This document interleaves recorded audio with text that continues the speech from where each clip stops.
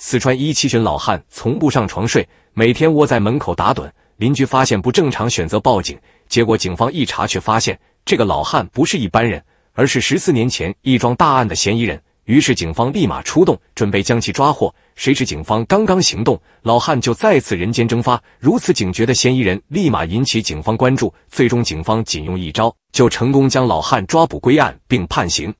究竟老汉犯了什么事儿？又是怎么躲过了警方多年的抓捕呢？酒窝谈奇闻，与君共谈天下奇闻异事。感谢订阅，从不睡床的七旬老汉。二零二三年三月二十六日，四川省米易县警方突然接到一起奇怪的警情，报案人是当地某小区的居民。这个居民告诉警方，自己的邻居从来不睡床，每天窝在门后边打盹，只要有人经过，邻居都会十分警觉的一跃而起。一开始。这位邻居以为老人精神不正常，所以才会睡在门口。可这样的事情发生了两三次后，邻居还是觉得不对劲，悄悄地报了警。对于群众的反应，警方也察觉了异常，于是决定暗中走访一下，摸一摸这位老人的底。可这一次调查，警方却有了重大发现。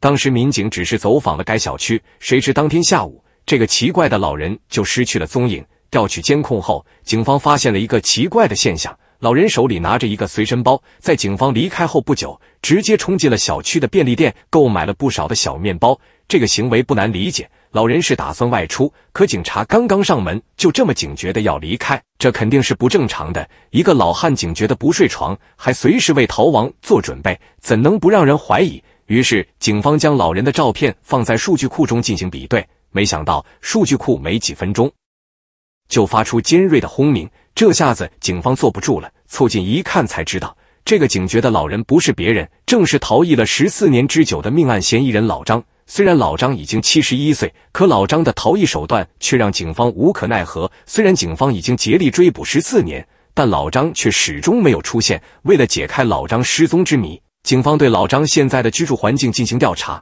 这一查还真的有个重大发现：老张现在居住的房子，居然是五副外表亲家的房子。也就是说，居无定所的老张被亲友收留，这才逃过了警方的追捕。了解老张动向后，警方立马对各个关卡继续管控。可连续搜索许久，却发现老张并没有使用交通工具离开。经过警方的多方努力，最终发现老张离开前曾经搭乘过一辆皮卡。可当警方找到该司机后，却得知对方跟老张很熟悉，却不知道老张是网上通缉多年的嫌疑人。老张提出要搭车，司机没多想就答应了。根据司机的交代，走到半路，老张就下车往山的方向去了。得知这个线索，警方立马带上警犬，朝着大山进发。可连续找了好几个小时，但天黑路重，能见度也比较低，警方的搜索进度并不快。于是，警方决定来一出调虎离山，将老张给调出来。在山上没找到人，警方立马收队，躲在了山下。果不其然，以为警方已经撤离的老张，又给皮卡司机打来电话，试图再次逃跑。可老张没想到，等在山下的可不是司机，而是警方的重重包围。落网的老张并不甘心，还企图从包中抽出匕首对抗警方抓捕。可老张的一举一动早就被警方获悉，最终也没能成功。老张顺利落网，让警方疑惑了十四年的案情也终于浮出水面。究竟老张当年做了什么，导致警方追捕十四年依旧不肯放弃？丧心病狂的凶案，四川夫妇为爱私奔到山村落户，谁知没多久就一死一逃亡，吓得村民赶紧报警。警方调查后却大吃一惊，失踪的男人竟然早已结婚。既然男人为了真爱抛弃妻子跟人私奔，又是为何在一起后却闹出了人命？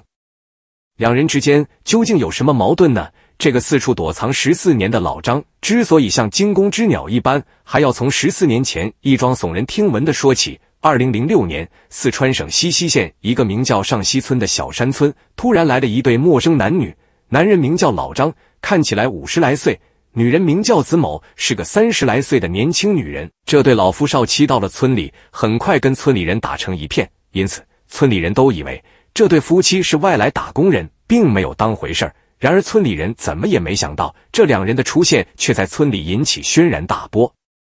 甚至让村里人忧心忡忡的过了十几年。二零零九年，也就是老张夫妇到村里生活的第三个年头，一天早上，隔壁老王发现一向勤快的子某好几天没有出现，于是就敲响了子某的大门，看看有没有什么需要帮忙的。上西村民风淳朴，村里人几乎夜不闭户，平时聚在一起聊天打发时间也是常有的事情。可老王却发现自己敲了半天门，子某都没有出来开门。意识到子某可能出事，老王大着胆子跨入了子某的家。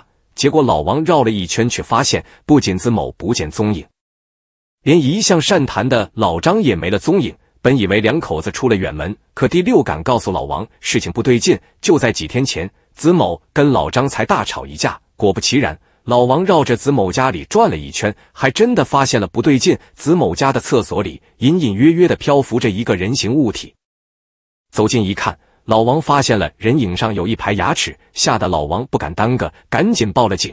当警方赶到现场后，迅速召集人手进行打捞。经过辨认，厕所的人影不是别人，正是这家的女主人子某。而且，警方还在堂屋里发现了大量的血迹。因为现场混乱，男主人老张却不见踪影。警方有了不好的预感，既担心老张也遭遇不测。又担心老张就是凶手逃之夭夭，可警方到村里调查后，却发现老张是个八面玲珑的男人，为人客气，很善谈，平时靠打点零工养活家庭。而且村里人一致认为，老张跟子某关系融洽，夫妻感情特别的好。就在警方怀疑老张也可能遭遇不测的时候，一个重大的发现让老张的嫌疑迅速飙升。可警方没想到，关于老张的抓捕居然跨越了十四年之久。恐怖的杀人动机，四川夫妇为爱私奔到偏远山村落户，谁知刚刚安定下来，丈夫就残忍的对妻子痛下杀手。警方调查后却发现，男人的身份不简单。警方追凶十四年，如果不是男人的一个怪癖，可能凶手至今逍遥法外。得知男人的杀人动机后，更是让人细思极恐。这到底是怎么回事呢？尽管村里人都表示老张跟妻子感情十分要好。可警方调查后却发现，老张居然早就已经结婚有家庭，跟子某算是私奔。这个发现让警方对老张有了好奇。原来，老张本是一家煤矿的工人，靠着给矿上守炸药谋生。而老张的儿子小张也是该矿场的工人。一次偶然的机会，小张在作业时不小心被高压电击中身亡。老年丧子的老张悲痛不已。可老张也知道妻子的年龄肯定无法再孕。自从儿子去世后，老张对妻子是百般刁难，夫妻两个的日子很不好过。为了传宗接代，老张盯上了同样在矿区的子某。子某年轻漂亮，还有四个孩子，但子某的丈夫却遇到矿难去世，生活的十分艰难。为了再生一个孩子，老张放弃家庭，跟子某落脚到偏僻的山村。随后，警方找到了子某的娘家人，可娘家人却告诉警方，子某在出事前曾经给家里打过求救电话。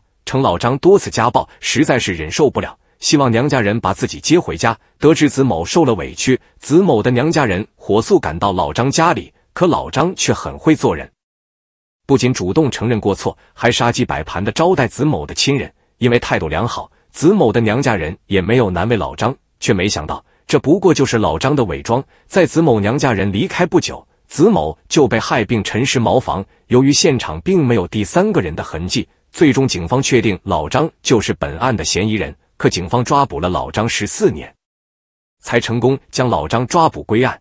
当警方逮捕老张时，老张说的第一句话居然是“我知道你们是为了什么事”。此话一出，警方立马明白老张就是杀害子某的凶手。那么，老张为何要残忍杀害子某呢？被抓后的老张没有隐瞒，表示自己的妻子年轻时是十里八乡有名的美女，可妻子年龄太大。不可能再生一个孩子，为了延续香火，不得已才找到子某。可老张四处干活养家，子某却三年没有怀孕，于是老张就怀疑子某有了二心，在外肯定还有别的男人。可老张迟迟没能抓到子某的把柄，只能默默的忍受。二零零九年的一天晚饭饭点回家的老张发现子某不在家，以为子某做了什么对不起自己的事情，结果子某却一脸虚弱的回来了。子某回家后。老张发现子某的裤脚上有血，当即询问原因，可子某却说自己去县里打胎了，因为子某觉得养活四个孩子就已经够吃力了，再多一个孩子根本养不活，所以就将胎儿打掉了。子某私自引产的行为彻底的激怒老张，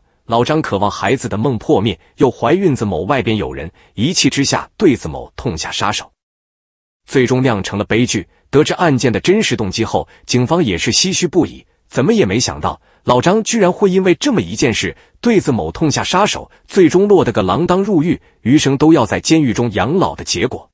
这起案件的真相令人唏嘘，它揭示了人性中复杂而黑暗的一面。老张的行为虽然源自于对延续香火的执着，但最终却以极端的暴力和犯罪告终。他的故事是对那些在传统观念和个人欲望驱使下走向极端的人的警示。他告诉我们，无论面对何种困境，诉诸暴力都不是解决问题的正确方式。老张的逃亡生涯虽然一度让他暂时逃避了法律的制裁，但最终他仍无法逃避内心的谴责和法律的审判。他的落网不仅是对受害者家属的一种慰藉，也是对社会正义的一种维护。这起案件再次证明了，无论犯罪者如何狡猾，无论他们如何隐藏，最终都难逃法网。同时，这起案件也提醒我们，社会应当对家庭暴力和心理健康问题给予更多的关注和干预。对于那些处于困境中的人，社会应当提供更多的支持和帮助，防止悲剧的发生。对于犯罪行为，我们应当保持零容忍的态度，坚决维护法律的尊严和正义。老张的故事是一个关于欲望、愤怒和救赎的故事，他让我们看到了一个人如何在绝望中走向犯罪。也让我们看到了正义最终如何得以伸张。随着老张的审判，这起案件终于画上了句号，但他留给我们的思考却远未结束。让我们以此案为鉴，共同努力构建一个更加公正、和谐的社会。今天的分享到这里就结束了，大家有什么看法可以留在评论区。感谢大家的观看与支持，觉得内容还不错的朋友可以点击订阅，您的支持就是我最大的动力。我们下期见。